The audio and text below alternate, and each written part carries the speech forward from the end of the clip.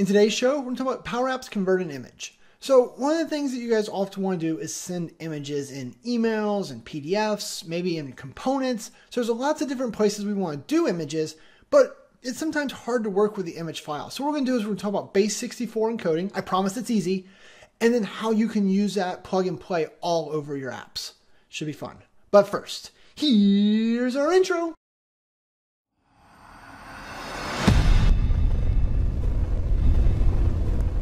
Hi, my name is Shane Young with Power Apps 911. Those guys. And today we're going to talk about converting your images. So in Power Apps, we often have to work with images, and we've talked about uploading them and capturing them and different things. But another thing you often find yourself having to do is work with them mechanically, right? So for example, I had a customer who wanted to uh, do email signatures when they sent out emails, and they wanted the company logo, or they want the company logo on an invoice PDF, right? Or just places where you want to use images. And the one that really made me want to make this video was in my previous one where I talked about components. I showed you guys that, hey, the media doesn't really come across. So I figured out how to use this trick to send the media so that they would be included in components. So that's like the big reason that got me to do it. But this is just a core skill that I think a lot of you need in your toolbox. And it sounds scary because we're going to talk about base 64. Woo! It's like that Star Wars base my kid built back there. But it's not because I'm going to show you how we're going to get to base 64 with zero effort. And then once we've got the base 64, how you can just plug that in in different places in Power Apps and you're off to the races. Okay? So hopefully you're bought in. I know this is not a super exciting topic, but I promise it's a core skill set. So let's switch over to my desktop and teach you guys how to do this. Okay, so the first thing I want to do over here on my desktop is let's talk about the image that you want to compose, right? So maybe it is a company logo, you know, it's going to be something standard, right? Because it's not like a all the time thing. This is like, hey, I just need this image and I want to be able to use it. It's most likely why you're doing it. So, for example, for us, let's grab Chewy's nose. And now the first big mistake, no, let's not do Chewy's nose. It's too small. It's not as compelling.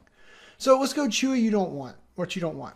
So the first thing you want to do is I want you to look at the image and look at the size, right? So its dimensions are 3,000 pixels by 4,000 pixels, it's 2.6 megs. That's a lot of data to encode, okay?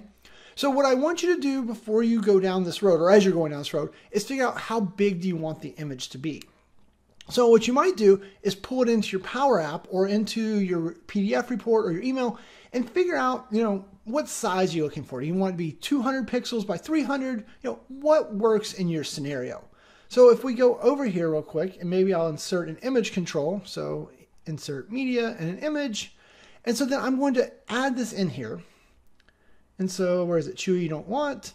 And so when I put it in here, I'm like, all right, this came in, it's great. Now what, notice what happens here is Power Apps dynamically resized it, so it kind of looks a little goofy, but if you pull it out, right, it gets different sizes. So figure out the size you want to use the image. So that's great, right there. It looks, that's too big. I want to use just this little picture of Chewy's face up here in the corner. So I'm to kind of tighten the box in, like, all right, that, yeah, let's see, about like that looks good to me. And so then now I'm to look over here and be like, all right, size-wise, I got it 92 by 98. So that's what you want to do. You want to, first thing you need to do is you need to go shrink your image down, okay? So I'm going to use a tool like Snagit Editor. So I'm going to open that. And so then over here in Snagit Editor, I'm going to say open, and I'm going to go find that picture of Chewy. So we'll be like, all right, where is Chewy you do not want? There we go. And so it pulls it in. Look, there's that 3,000 by whatever again. And so I'm like, all right, well, I really just want you to be 98 tall. So I'm going to go here to height. I'm going to set you to 98. And then it's going to resize the image for me. I'm going to apply that. And I'm going to save it. So file and save as. And then I just typically put dash 98 at the end, so that way I know how many pixels I've made something. It's one of my patterns, but it doesn't matter. Okay, so now I've got the file down the size I want. So what do you do next? Then you need a base 64 encoder. And so I went out and Googled, I have no idea who these people are, but there's a website called base64-image.de. I don't know. Maybe they're stealing all my images. Don't really care. What I'm gonna do here is I'm gonna say, hey, where's my photo? I'm to grab that photo. And so when you put it out here, it is going to encode it for you into the base 64. And what's important to understand is that look, it got a little bit bigger. It went from 3.5K to 4K. So I didn't want though that ginormous. Remember we had the uh, the really big like three and a half, two and a half megs or whatever. I didn't want that because what happens if you show code is that that entire every image of the you know the three and a half k, four point seven k, whatever it is, that all goes into you know there's ones and zeros type of things for every one of those. So this string that you see right here, this is the base 64 encoding. It is as big as the file is. So that's why you want to get the file down to the smallest amount possible because you don't want to carry around any more than you have to. But now that we've got that, to say copy to clipboard, and then we'll go back over to Power Apps we're a lot more comfortable. But this, this is just a great little tool. I don't care what you use. I, I have no affiliation with these people. Just a great tool, though, for me to get the base 64. So, because what we can do now, we'll just delete this one out. Or no, we won't delete it. We'll just delete out the Chewy picture is right here in the image. I can just do the, the my double quotes, paste in the stuff I got from those guys, and then close my quotes. And there is Chewy, right? There is that image file pulled into my app. But instead of it being media that I attach, it is really just all of these bits and bytes or whatever you call these things, all these letters and numbers. I don't know. It's all of this gibberish turns into this pretty picture of Chewy. And so you can see if I kind of bring it up, it gets blurry. Why? Right? Because now Power Apps is like stretching the pixels. We didn't change the number of pixels. Whereas earlier with that other one, when we, you know, it was having to shrink the pixels, so it was clearer when it got bigger. That's why you needed to figure out how big the image is you wanted to use or where you were going to use it, because then you could get this control to the perfect size and then everything would be just as you would want, right? So back to that 98. And so then now it's as clear as it can be. So now that we've got this and we know that it works, you guys have got everything you need from me. Yay, I'll see you later. Now, so let's talk about how I'd use this. So I'm just going to copy this whole thing, Control A, Control C. So for example, maybe I want to send an email with a um, image in it. No big deal. So I would do Office 365 Outlook dot send email. There it is, V2. I'm going to send it to myself right now. So Shane at powerapps911.com. Subject is um, pretty picture. And then right here, you know, in the body section, remember the body section of this email control is all HTML. So it could just be like, you know, here is the image. And then we could do a BR, which means break. We'll do two BRs. So get a little spacing. And then I'm going to add an image tag, so IMG, and then src for source equals. And now you want to paste in what I, you don't want to paste in what I just copied, but I'm going to do it because I think that's what you guys are going to accidentally do all the time. I'm going to paste that in, and the text is all weird colors. Like, what happened? That's because I pasted it in with that double quote, so it ended my string. Remember, the body is a string. I don't want to do that. So what we're going to do is we're going to take advantage of the fact that in uh, HTML, double quotes and single quotes are generally interchangeable. So I'm going to delete that out, make it a single quote, go all the way to the end, change that double quote to a single quote. So that is the image source. And then I need to close my image tag, and then I need to close my string, and then close my email button.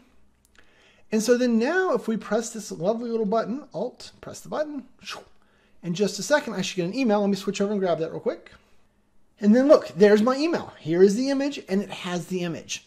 So this is how you could, if you always wanted to do like a company logo in all the emails you send, you could bolt this in. One of my customers, when the app loads, they go out to Azure AD and they get all the like name, phone number, office location, and they make email signatures for their user dynamically, and then they bolt in their little company logo. So all the emails that come out of the program, because they forward those off to customers and stuff, all have a nice signature, nice consistent signature and so that is a real world application of that. So that's the key. You know, this, and this is in the case of, oh, right here, this is in the case where you're trying to send the image, um, you know, that same image over and over again, right? That's, that's what this is about, is using one image for lots of stuff. And also, once again, I'm going to reiterate, the reason I shrink that image using the Snagit editor to begin the video was because if I had left the normal one, there would be like hundreds and hundreds and hundreds and hundreds more lines here of all of the text that made up the image. But because I'd always wanted to shrink it down anyway, I would just be compressing that back. So I'd be wasting all my effort because you know the browser will get really mad if you try to paste in three and a half megs of base 64. I'll be I'll be honest, it, it's, it's going to get angry with you. So you want to get that image size down. So another way you might use this though, right? Because we got three ways. So the first one was an email. The second one is in a PDF. So if you've ever seen my PDF video, right, one of the things I have you guys do in that very first PDF video is you go get the image from OneDrive, you let OneDrive get the base 64 for you, right? But that's a lot of work. If I'm using the same one, like one of my customers, we send out uh, invoice PDFs. They want the company logo in the top corner. So what did we do for them? In our HTML, you know, uh, so when I run the PDF, I say instant PDF is the name of my PDF creator, run. Here's all my HTML body. And so in there, I'm like image source equals, and then all of that base 64 again, right? So all of this comes over and if we um, click on this create button here, what we should see is, let me oh, switch over and grab it for you real quick. We get this, and then you have your little instant PDF. And so then now we've got Chewy's beautiful face staring at us very flippantly, quite frankly, but right there embedded and I don't have to go fetch that in OneDrive all the time. I don't have to, you know, worry about where that's coming from. I am just including that in my base HTML because the company logo doesn't change, right? These companies are hundreds of years old. They might still have the same logo. So by going, getting the base 64 encoding once, I can then plug that in here without issue. Okay. And right, just so if you're wondering what does that flow look like, let me show you again that real quick. So right here, it's just a simple, you know, create file, get uh, into this folder using this name, and the file content was just asking Power Apps. So Power Apps is doing everything. I'm converting it to PDF, and I was just creating it again in OneDrive. And so if you wanted to email that off, you just have a uh, you know an email action here with an attachment. If you want to save it to SharePoint, I don't care where you do it. This create file and convert file step have to be here. Um, and remember, I have a couple of different videos out there on how to build PDFs, so we're not going to go through that today, but that's how I could plug this technique straight into that.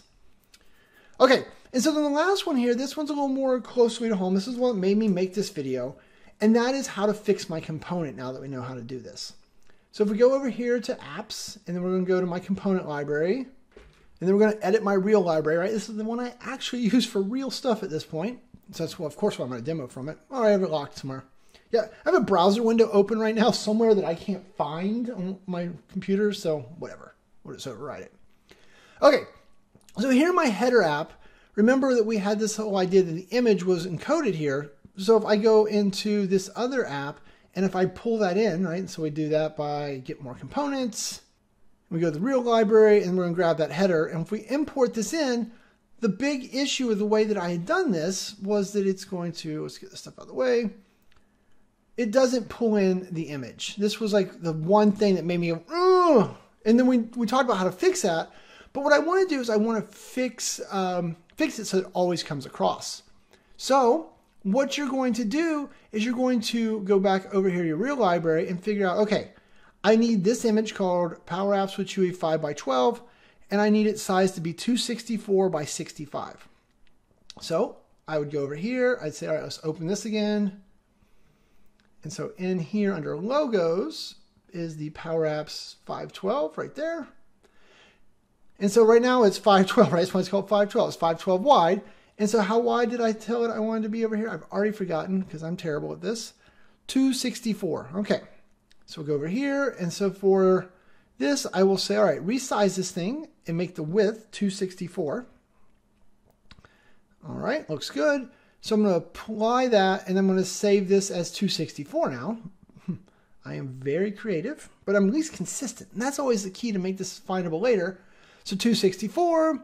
So then now I would go back out here to this guy's site. I'm going to go to the logos folder. And I'm going to find the Power Apps 264. There you go. So see how much bigger this one is because it's a much bigger file. So a lot more stuff to carry around. I'm going to copy the image, which gets me the base 64. We'll go to the real library. And so then all I'm going to do here is just uh, double quotes, paste in everything I just copied from that site, and then put that in. Boom. There is my header image all set the way that I want. And it fits perfectly, so it's the minimal amount. Um, you know, maybe I'd play with it a little more, but uh, I think I'm good with that overall. So now we can save and publish. And so the next time that I go to use that, it is going to um, pulled in automatically, right? So if we go back over here, oh, right here. So let's save this app because you have to save and close to get the component to refresh, right? So file, save. Hmm, I named it DDDD, right? Very creative of me, I know. Though I am curious, before we leave, we're going to check one thing. I don't think I can go over here to this and say refresh. See, there's not a refresh here. Okay, but if we close, and then if we open it back up, hmm, bet you can remember that name, DDDD, weirdo. And so look, component library updates available. Notice this is still broken. We're going to review. It says a real library update. It doesn't tell me which component. Wish it did, but doesn't. So we say update. And so then it gets new version. And then the media comes across. Ugh, that was driving me crazy in the other one. So we fixed it, guys. Okay, so that's that's what I want to get across here, right? I wanted to make this video. I know it's not super exciting, but this is another core tool set. So if you watched this far and you've got these core tools, you're better at Power Apps for knowing how to do this, even if you don't immediately apply it. Even if you don't know what base 64 is. I don't know if I know what base 64 is. Who cares? The key is, is that we now know how to have those images where we need to have them encoded and do what we need to do with them. So I don't know. I think with that, that's enough for uh, today for me. If you have any questions, leave me comments below. Um, always go check out training.powerapps911.com. You can download all of this fun stuff, right? Wouldn't that be exciting? And with all that, I'm going to say thanks and have a great day. Before you go, be sure to click on the subscribe button over here so that way you'll be notified when new videos come out. If you need any help or you want to work together, whether your problem is big or small, check us out at Power Apps 911. We do it all. I rhymed. Or if you're looking for more formal training offerings, we have those eh, linked up here somewhere. So check them out. Thanks and have a great day.